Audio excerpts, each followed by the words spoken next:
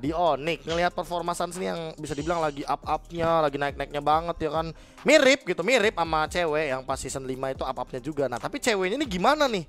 Ke depannya nih, apakah bakal jadi camat juga atau gimana?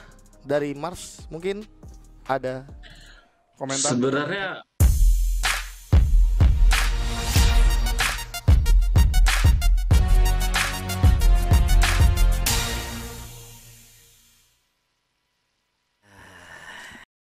Nah, ini yang naik mid lanernya Gig yang junior ya. Hmm, iya. Nah, itu terus Doyok gimana? Apakah nanti Doyoknya pindah eh, lane atau pindah role atau eh, yang mid lanernya dulu di Gig Junior ini bakal ngisi lane yang kosong atau gimana? Mungkin jadi camat, mungkin enggak tergantung Wow. Jadi wow, camat- wow, wow. wow. Wow, wow, itu sih gua kaget sih dengernya. Doyok jadi camat serius. Ya mungkin, kan nggak ada yang tahu. Ini Wow. apa sih? Wow, Itu jok streamingan atau gimana sih? ini ma- ini tadi Mars nyebut nama, sekarang Navari udah nyebut set ya camat. Berat juga bahasan kita malam ini. Gua yang takut sumpah mereka yang ngomong. Iya loh. Padahal biasanya kita yang ngebunuh karir orang ini. Kok gue yang deg-degan ya? Gak apa-apa lah. Enggak, enggak alasannya apaan tuh? Eh tiba-tiba Dari tes camat. jadi camat gitu loh.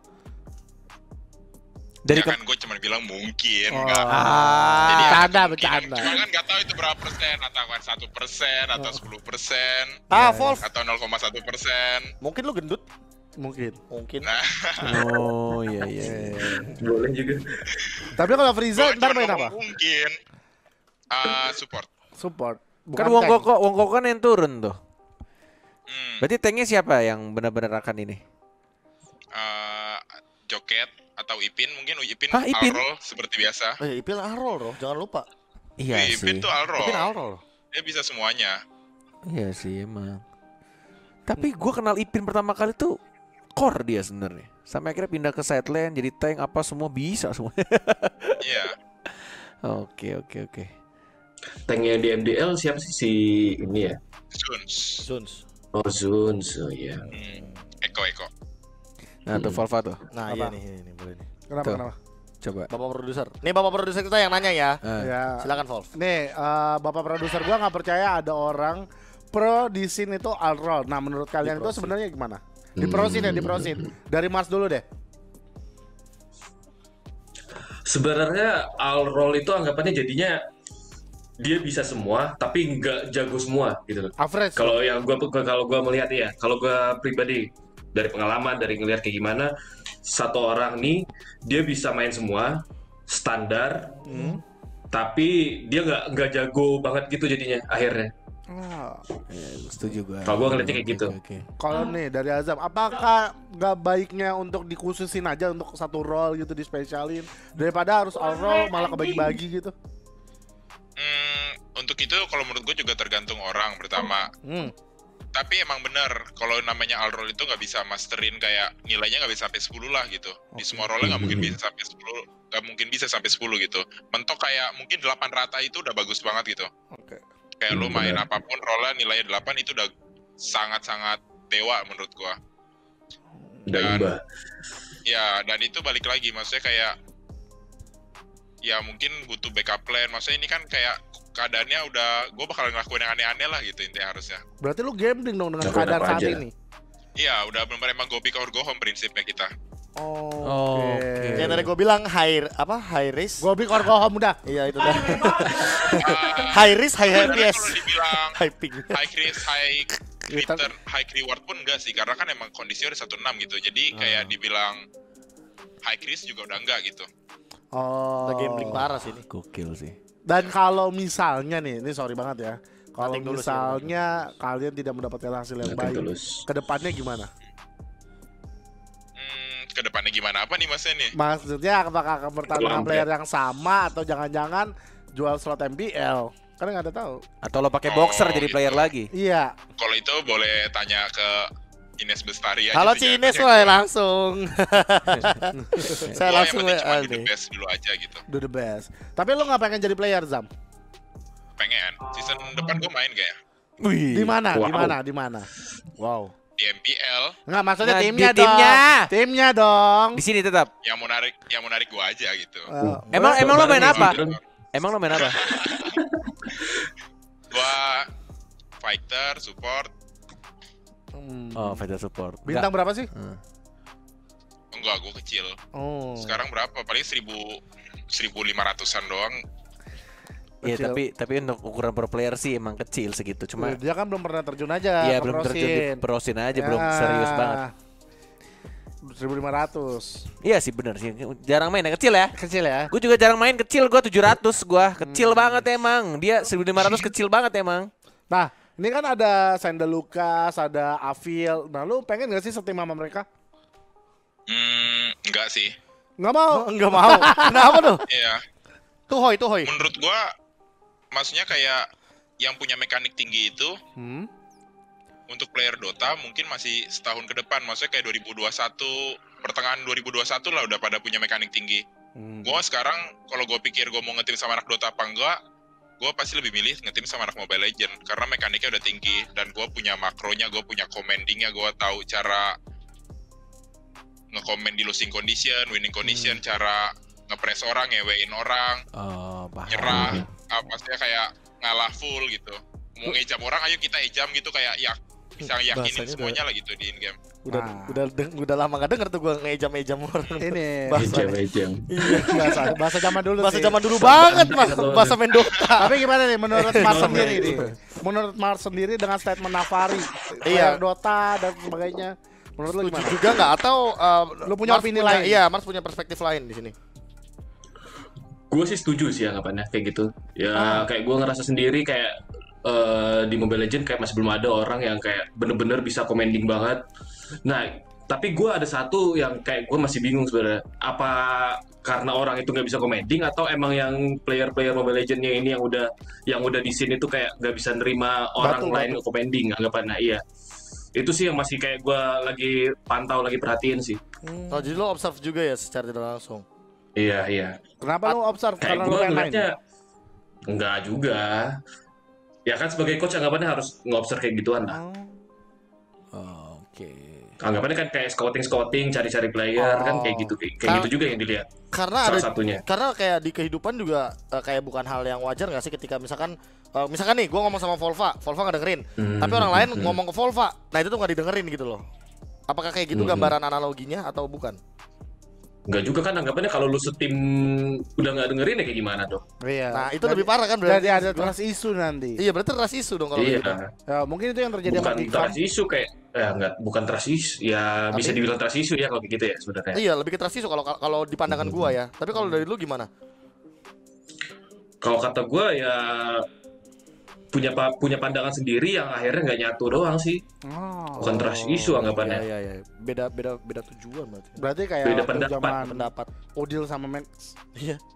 Kan berantem mulu tuh. Beda pendapat terus. Beda pendapat terus. Tapi tujuan mereka tuh sama sebenarnya. Tujuannya ya menang. tujuannya semuanya buat menang. Ah. bener semuanya tujuannya buat menang tapi ya kan ada satu ada beberapa orang kayak cara menangnya dia itu beda gitu cara menangnya dia ini beda cara menangnya Iya, orang iya. yang ini beda kan anggapannya kayak gitu Iya iya benar. Contohnya itu Max sama Udil yang tadi Volva bilang. Hmm. Max itu menangnya angkat piala, Udil itu menangnya di atas langit ada Udil. Nah tuh, boleh tuh ditanyain. Oke, nih kalau misalkan tadi kan ngomongin doyok. Ah ya, aman aman aman. Ada mana mana mana. Nah, tadi kan eh, Aman. Navari sempat bilang masalah doyok mungkin Mungkin. mungkin jadi camat atau cadangan mati. Nah, di Onyx ngelihat performa Suns ini yang bisa dibilang lagi up-upnya, lagi naik-naiknya banget ya kan. Mirip gitu, mirip sama cewek yang pas season 5 itu up-upnya juga. Nah, tapi ceweknya ini gimana nih? Ke depannya nih, apakah bakal jadi camat juga atau gimana? Dari Mars mungkin ada Komentar. sebenarnya apalagi ya pas eh, apa namanya yang Mobile Legends ini kan ada baru kayak leak-leak gitu kan dan kita lihat kayak ada di advance server ada banyak itu kita dapat kayak dapat lihat kayak update-updatean baru yang sebenarnya bisa bikin jadi dua core gitu loh jadi menurut gua sebenarnya chance-chance si cewek jadi camat itu kecil Ah. buat itu bisa jadi playoff loh ntar kayaknya meta itu Karena tahu update itu kalau nggak salah September itu em, tanggal 23 ya. Berarti Benar nggak sih? akhir bulan. Iya akhir bulan. Sekitaran itu dah. Itu patch gede. Akhir bulan, ya. Heeh. dan kalau Hmm. nggak salah minggu ke-8 itu tanggal 4 Oktober. Jadi minggu ke-8 Nah. tuh masih keciprat lah gitu. Sedikit patch Iya. baru itu. Nah, menurut kalian dengan adanya patch baru ini akan jadi nge-lag lagi nggak? Kenapa Oh, jadi oh, nge-lag lagi? kalau Iya, iya dong. kalau nge-lag sih nggak tahu sih. Harusnya enggak sih. Kenapa nanyanya ke mereka? Gua nggak Kan mereka yang bisa dirugikan dong. Bener nggak, Mars? Benar. Iya. Zam? Benar, benar. Hmm. Iya dong, mereka harus Tapi kan antisipasi kayak juga. tanggal 22 23 gitu kan ke seminggu biasanya nggak nggak sampai nge-lag-lag banget. Nah, Nggak ada yang tahu. Nggak ada yang tahu sih bener.